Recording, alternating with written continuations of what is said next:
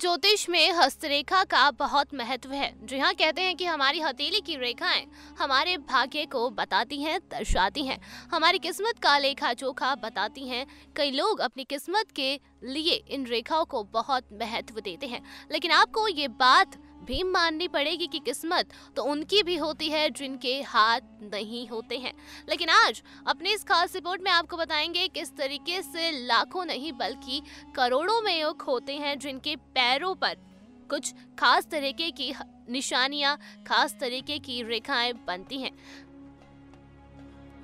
जी हाँ समुद्र शास्त्र के अनुसार जिस व्यक्ति कि पैर की सबसे छोटी उंगली के किनारे ऊपर या नीचे की तरफ़ कोई रेखा उठी हुई होती है तो वो बहुत भाग्यशाली माने जाते हैं। उससे जीवन में हर कदम पर भाग्य का साथ मिलता है। जी हाँ साथ ही उसे कभी भी धन की कमी नहीं होती है। जिस व्यक्ति के पैर में एड़ी मूल में तीन उंगलियाँ ऊपर मध्य भाग में बन रही हों तो इसका मतलब है कि उस व्यक्ति के तलवे में अक्षय धन रेखा मौजूद है। बता दें, ऐसे व्यक्ति जीवन में खूब पैसा कमाते हैं, साथ ही इन्हें भी धन की कमी कभी नहीं होती है।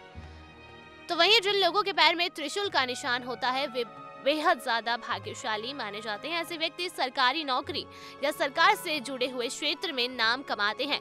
इस निशान वाले लोग कई बड़े अधिकारी होते हैं और इनका प्रभाव हर जगह देखने को मिलता है।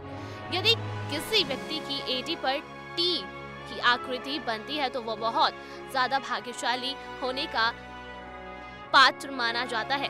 ऐसे निशान वाले व्यक्ति यदि व्यापार करे तो इन्हें कई गुना फ़ायदा होता है। व्यापार के क्षेत्र से जुड़ना इन लोगों के लिए बहुत लाभकारी साबित होता है। बता दें, यदि किसी व्यक्ति के पैर की कोई रेखा पैर के तलवे के दो भागों में बांटते हुए अंगूठे से तीसरी उंगली तक जाती है तो ये भी भाग्यशाली होने का प्रतीक होता है।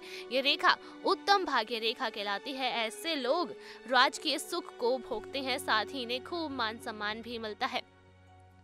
नेक्स्ट टू नाइन स्पिरिचुअल से इंदू की रिपोर्ट